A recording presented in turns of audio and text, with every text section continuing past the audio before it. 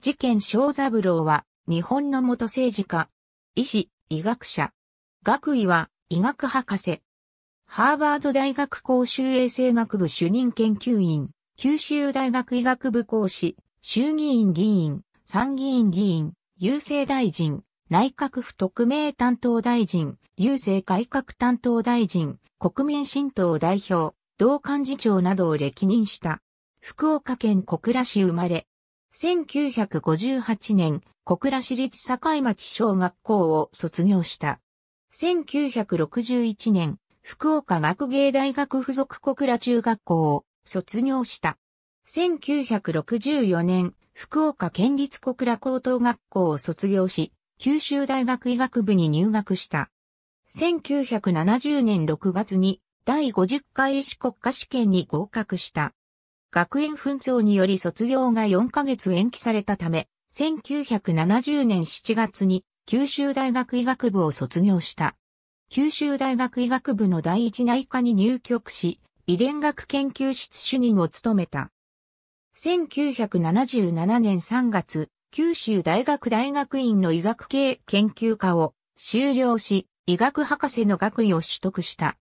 1980年7月、アメリカのハーバード大学にて、公衆衛生学部の疫学教室に所属する主任研究員となった。1982年4月、九州大学の医学部にて講師に就任した。1983年12月、第37回衆議院議員総選挙に、当時の旧福岡4区から自由民主党公認で立候補し、初当選を果たした。以後7期連続当選を果たす。1986年7月の第38回衆議院議員総選挙で再選後、1987年と1992年には衆議院の議事進行係に就任した。1997年9月には第2次橋本改造内閣にて郵政大臣に就任した。2005年7月5日、いわゆる郵政国会の衆議院本会議採決で反対票を投じた。第44回衆議院議員総選挙では、この反対票を理由に自由民主党の公認を得られず、無所属で福岡10区から出馬した。しかし、同年9月11日、自由民主党が資格候補として送り込んだ西川京子に敗れる。その後、離党勧告処分を受けて自由民主党を離党した。2006年8月22日、早期の国政復帰を目指して日本医師会の政治団体である日本医師連盟の第21回参議院議員、通常選挙ピレーク推薦候補公募に立候補するも、この日開かれた日連執行委員会での挙手による採決の結果、圧倒的大差で参戦を目指す自民党の竹見、慶三参院議員に敗れた。しかし4月の日医会長選で、竹見が当選した唐沢義人会長に肩入れしたことを政治介入とし、強く反発していた近畿6県などの執行委員は退席した。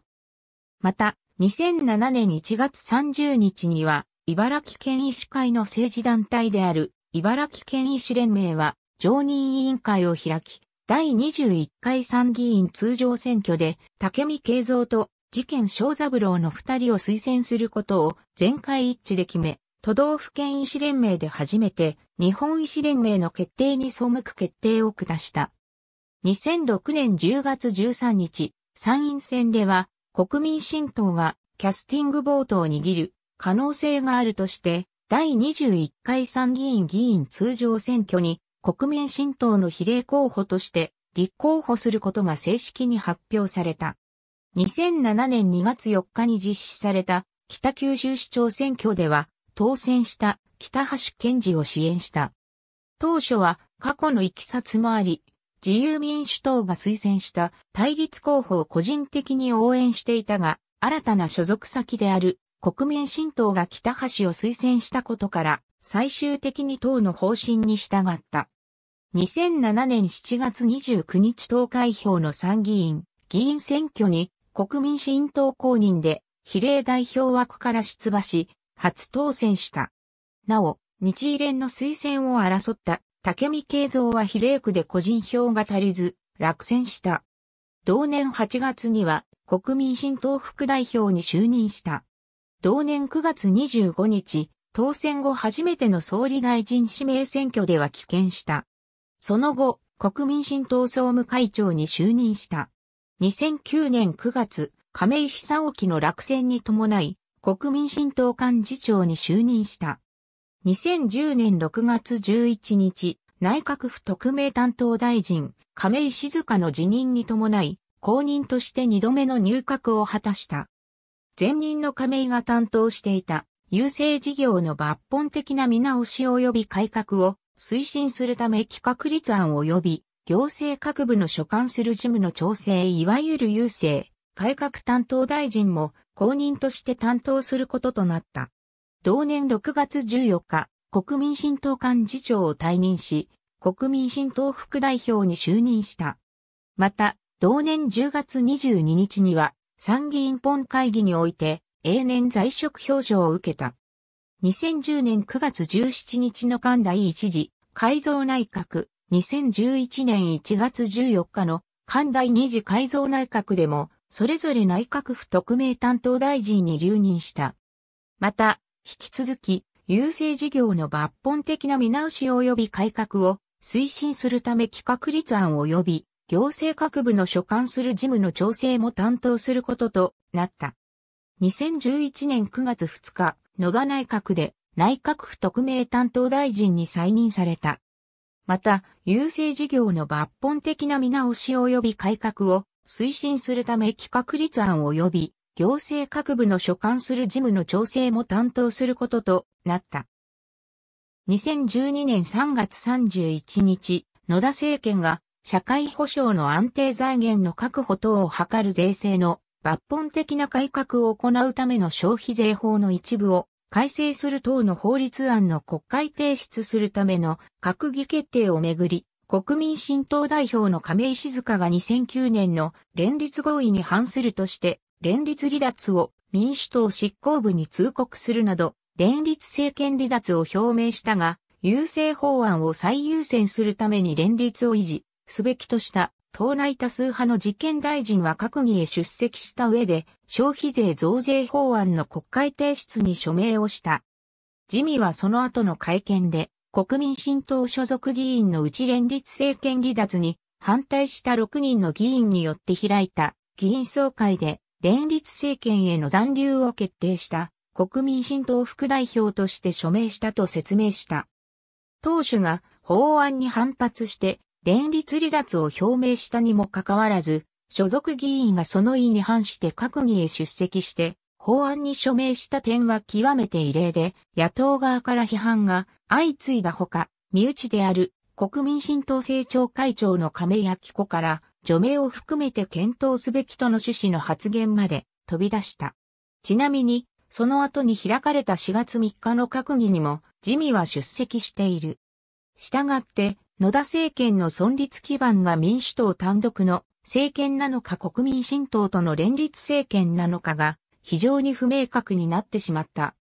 これは国民新党の党則や規約の中で党議を代表の意向とするのか、議員総会の議決とするのかといった点が曖昧に整備されていたためというのが主因である。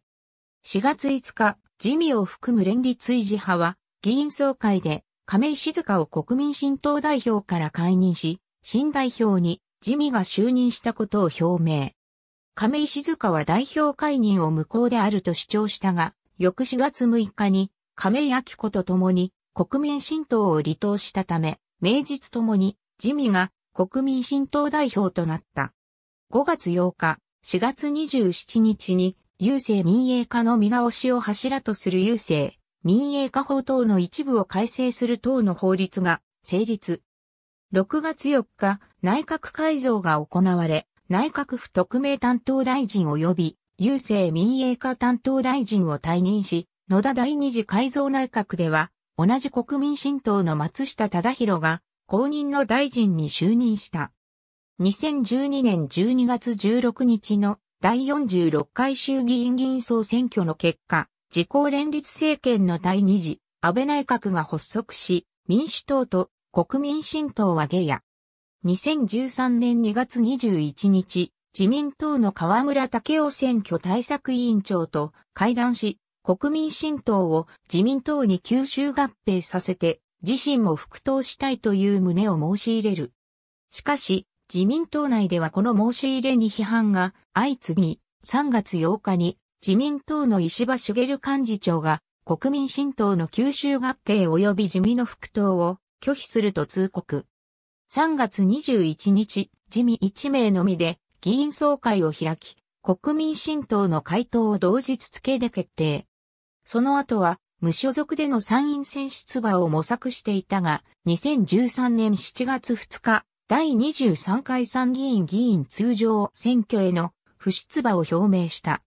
その後、次女の事件英子は、日本医師会の組織内候補として、第24回参議院議員通常選挙に立候補し、比例区で初当選した。ありがとうございます。